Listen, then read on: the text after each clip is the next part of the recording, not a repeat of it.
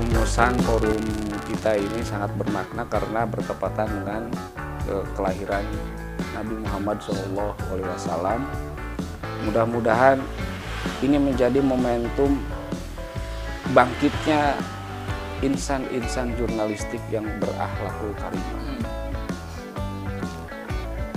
Amin. Amin. Dan di tengah eh, apa ya istilahnya tantangan-tantangan jurnalistik yang sangat kom- kompleks meskipun di dalamnya kita sudah punya payung hukum Undang-Undang 40 tahun 99 Kode Etik Jurnalistik. Namun dalam tataran implementasinya ternyata tidak semudah itu gitu kan ya. Kita coy. Betul. Banyak kita jumpai ya fenomena-fenomena tentang kejurnalistikan yang yang lambat laun justru yang tadinya tabu malah kita anggap wajar gitu deh. Nah seperti itu. Jadi mudah-mudahan atas kesepakatan kita bersama ya kemarin-kemarin kita kan obrolan-obrolan kecil gitu ya.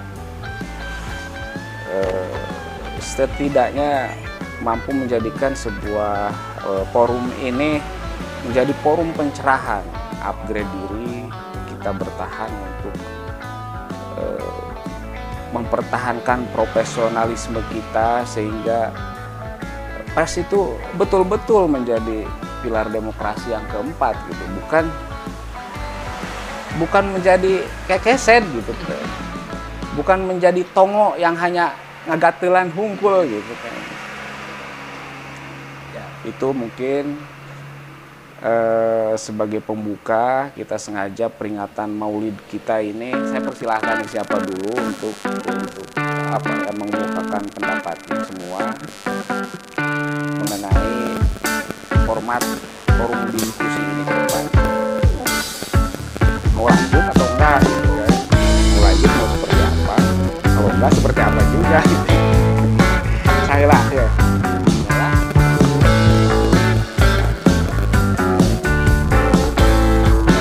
Cek, cek. Ya, Assalamualaikum warahmatullahi wabarakatuh. Alhamdulillah diskusi kita kali ini eh, bisa terlaksana pada hari ini. Ini merupakan diskusi pertama ya. Diskusi kita yang pertama. Semoga walaupun kita masih dalam skala kecil, masih ada lima orang ya semoga ke depannya bisa menjadi sebuah forum diskusi yang lebih besar lagi dan semoga bisa menjadi awal dari kebangkitan atau ya awal dari sebuah keinginan besar kita untuk menjadi satu eh, wadah diskusi wartawan khususnya di Kabupaten Kuningan. Karena tujuan awal dari diskusi kita ini kan pertama untuk muhasabah, mengupgrade eh, profesionalitas kita sebagai wartawan walaupun eh, sesama kita ini ada yang sudah senior, ada yang masih eh, contohnya saya baru empat tahun jadi wartawan kan masih perlu banyak belajar karena saya akui eh, secara pribadi pengalaman dalam segi jurnalistik masih jauh bahkan eh, terkadang saya masih tertinggal informasi dari rekan-rekan yang lainnya. Di- jadi diharapkan da- eh, dari eh, diskusi ini kita bisa menemukan solusi-solusi lah, eh, bisa menemukan pemecahan masalah terhadap yang kita alami masing-masing. Karena meskipun junior belum tentu dia tidak memiliki wawasan. Dan meskipun dia senior belum tentu dia sudah mampu membuat satu karya jurnalistik yang bagus. Jadi semoga dari forum diskusi kita yang kita awali hari ini bisa menjadi satu ya satu satu titik satu wadah untuk kita saling sharing pengetahuan. Barangkali nanti ke depan kita bisa memanggil narasumber yang lebih kompeten narasumber yang lebih senior uh, jurnalis yang lebih lebih banyak makan asam garam ya. Untuk kita bisa gali ilmunya juga kita bisa saling berbagi ilmu di antara kita gitu. Semoga ke depan kita bisa ya memiliki satu persatuan di antara wartawan dan saya harapkan juga kita kan di sini sesama online ya kita bisa saling bersaing dengan cara sehat karena kita juga memiliki pembaca masing-masing, kita memiliki pasar masing-masing, dan kita juga memiliki channel masing-masing di uh, di pemerintahan, di masyarakat. Semoga dengan adanya diskusi ini kita jadi bersatu lah untuk kebaikan ke depan. Itu mungkin itu dari saya.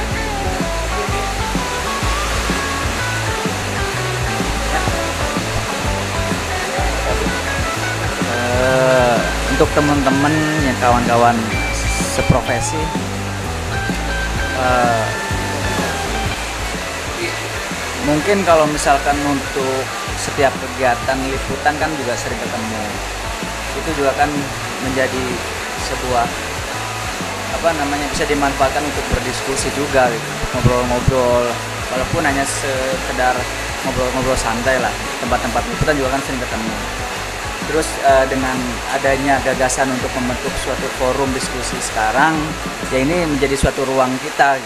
Untuk mungkin untuk lebih lebih serius gitu, berbicara soal bagaimana sih uh, komitmen kita sebagai seorang jurnalis, uh, pers uh, ke depan untuk ya yang mungkin tadi juga dibicarakan ada nilai manfaat lah yang bisa kita lakukan untuk masyarakat bukan hanya sekedar memberitakan yang sifatnya apa namanya bombastis lah yang viral tapi juga ada sisi manfaat yang kita beritakan agar memberi wawasan atau memberi uh, nilai yang baik untuk masyarakat. Mungkin itulah uh, sedikit uh, pembicaraan dari saya. Terima kasih. Oh Andri coy ya, ya Bismillahirrahmanirrahim. Terima kasih. Dengan adanya forum ini tentu salah satu sarana dan juga uh, forum yang bisa kita banggakan ya. Khususnya memang di Kuningan forum-forum seperti ini ya sebagai bentuk untuk uh, koreksi diri ataupun uh, peningkatan diri khususnya dalam profesi jurnalis. Karena jurnalis ini ya memiliki peran penting dalam menyajikan informasi dan juga mempertanggungjawabkan hasil dari sebuah karya yang kita buat. Apalagi mungkin di Kuningan banyak sekali uh, wartawan, banyak sekali media-media online ataupun media cetak yang saat ini tentu memberikan warna di dalam dunia era digitalisasi saat ini. Di sini juga ya salah satu forum yang memang menuangkan ide-ide gagasan khususnya untuk kemajuan uh, media baik media online ataupun media cetak kemudian juga peningkatan STM jurnalisnya sendiri kemudian juga ya minimal saling melengkapi kekurangan ataupun saling mengingatkan kelemahan dari salah satu teman gitu. Ketika ada pemberitaan yang kurang baik yang mungkin bisa dikoreksi ataupun diingatkan ataupun ketika uh, ada yang berita lebih hot ya kita genjot terus. Gitu. Ini Eki Eki Mungkin dari saya sih sebagai yang paling junior dan yang paling muda banyak berharaplah kepada forum diskusi ini sebagai ya pertama mungkin wadah upgrade diri ah Eh, mungkin saya bisa nyolong-nyolong ilmu dari senior semua lah gitu. Bagaimana cara eh apa ya ngambil bahan menentukan narasumber dan eh, banyak lah cara penulisan dan lain sebagainya. Terus juga mungkin ke depan eh, ini juga jadi apa ya forum diskusi ini jadi motivasi lah gitu. Karena kan kadang ada aja fasenya mentok gitu. Mentok ya ke mana ya poy ayeuna gitu. Tapi karena dengan banyak diasah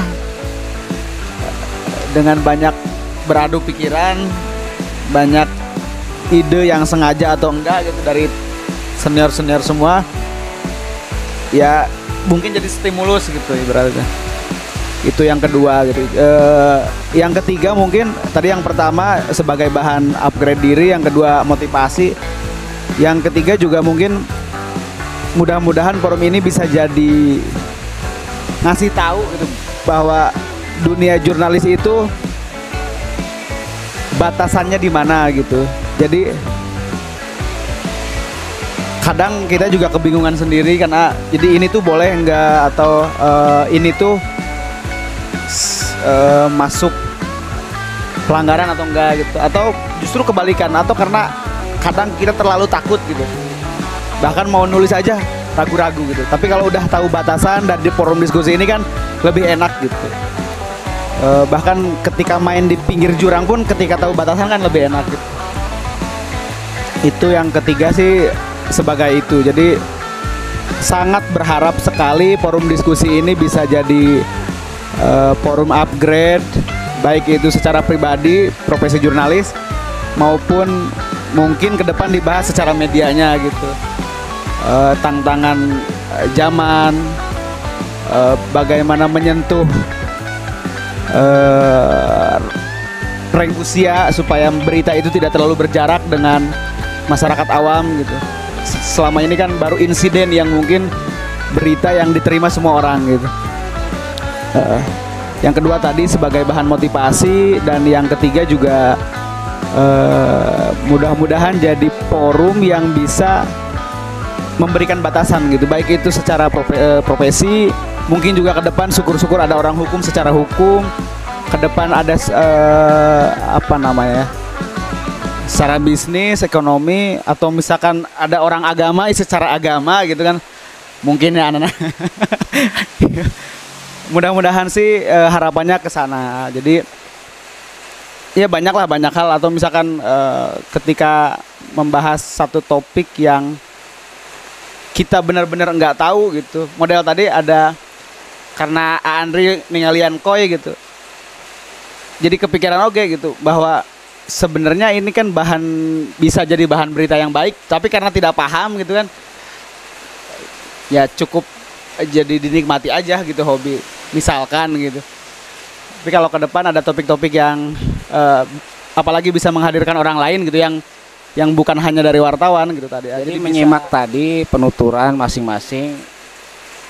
Pada intinya mungkin setujunya untuk membentuk untuk melanjutkan forum diskusi ini. Jadi ke depannya mungkin kita akan ngebahas eh, ini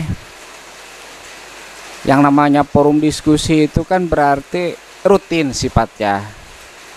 Nah rutinnya teh mau tiap bulan sekali, seminggu sekali, dua minggu sekali, dua bulan sekali, atau kumaha gitu.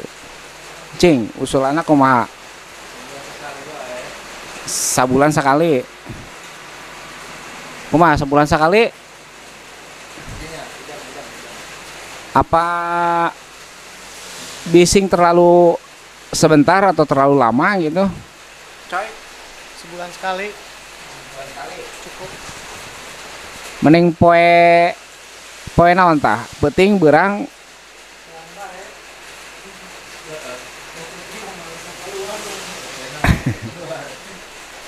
Berarti berangnya poe Jumat?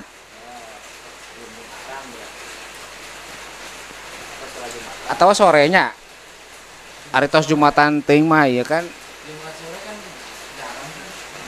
jarang kegiatannya jarang aya liputan ya sok kadang Gus Jumatan teh kan sok aya liputan Heuh, asal lila teuing heh. Lamun dua minggu sekali kumaha? ide ide teh sebulan lalu itu juga kayak pasif naon Terus perlu dibahas oke kan tadi lamun misalkan sebulan sekalinya. Eh, tempat ya tempat. Bisa ngerek boga ide tempat di mana gitu.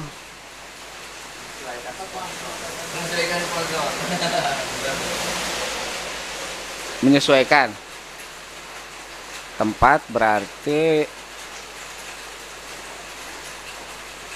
kurang perlu grup eh. grup grup WA kan? Jangan bahas seta kan? Nah terus nonde iya di luar.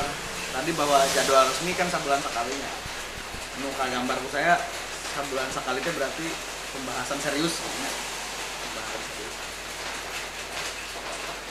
Eh, tapi lamun banyak cara lamun ngopi naki rada sering kumaha gitu. Jadi ente di luar di luar serius teh gitu. yang hari ngopi mah. Informal, hari ngopi mah. Kapan aja bisa kan supaya nahan otak ya.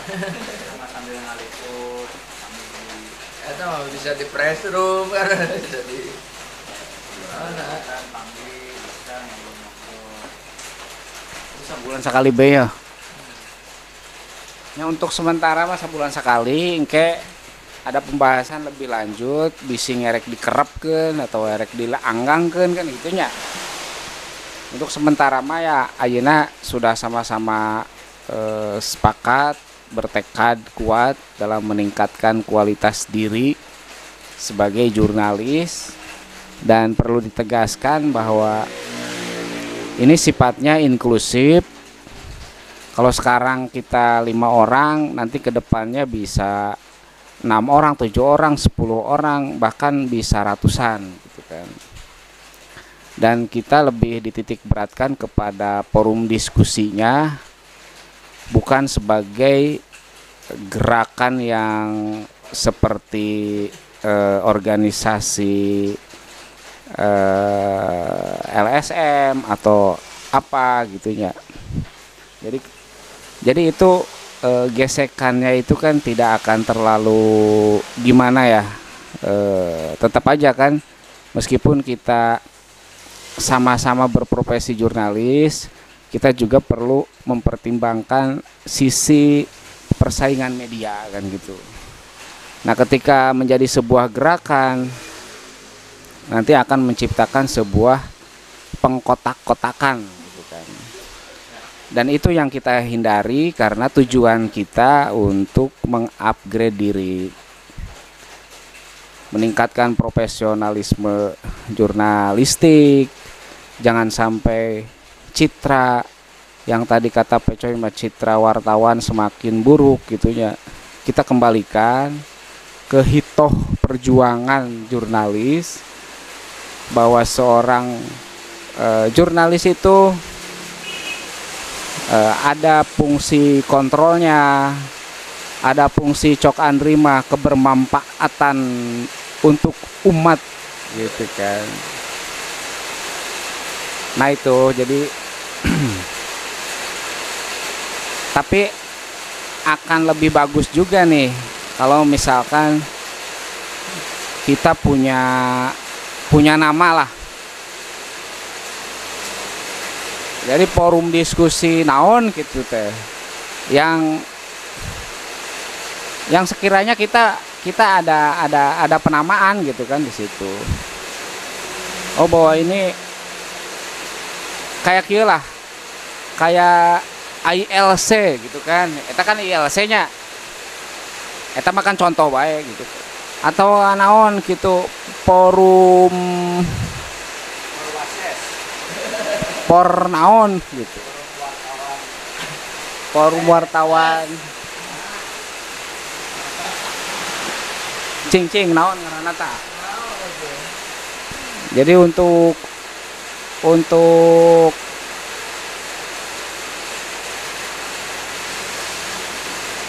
kumanya sebetulnya tidak terlalu substansi sih. Tidak gitu. Ya bisa sambil jalan. Cuma setidaknya kita punya gambaran lah biar ke depannya itu kan kita punya bentuk forum diskusi seperti apa.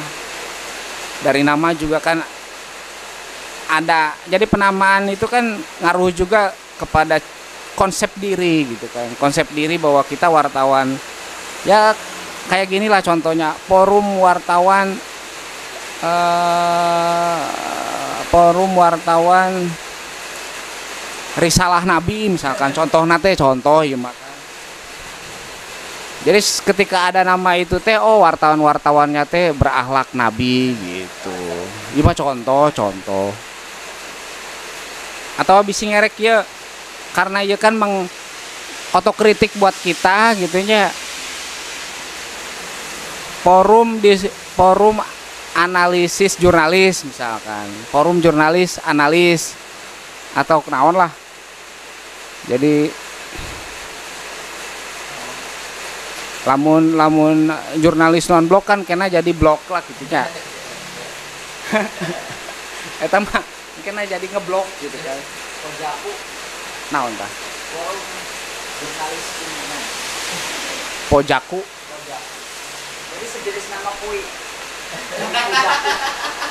ada nama kue kujaku komunitas jurnalis kriminal. Komunitasnya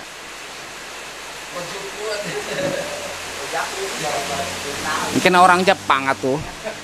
Dikira orang Jepang. Naon iya iya. Oke bisa kayak usul naon? Pojaku tadi porwade eh por porwases. Naon ki Tadi tadi forum analisis jurnalis nah lamun disingkat no. Koraju. Analisis jurnalis oasis. Oralis eh eta we pasis. Pasis Hitler. Forum wartawan analis. Pasis. Fasis. Jadi namanya buruk tapi kenyataannya baik. di pasis teh di seolah-olah kumaha tuh. Pasis hah? Halus tapi cek urang mah pasis kumaha hah? Fasis forum analis jurnalis pak. Forum jurnalis analisis. Nyakis pokoknya waktu itulah ya tambah sementara wae lah. Jika dibahas lebih lanjut. Setidaknya ada gambaran lah bisa ngerek ojoku tenon. Ngerek porwa yes atau pasis atau po naon itulah. Sementara sementara untuk penyusunan format ini eh, kita cukupkan. Dan alhamdulillah nih kita mudah-mudahan ini menjadi tonggak sejarah bagi kredibilitas wartawan, kredibilitas jurnalis dan meningkatnya profesionalisme kita gitu, sebagai kaum jurnalis, kaum kulit tinta. Jadi untuk eh, selanjutnya kita akan bahas di, di grup. Nanti lah cukup lah ya. Oke ya. Ah, pertama bela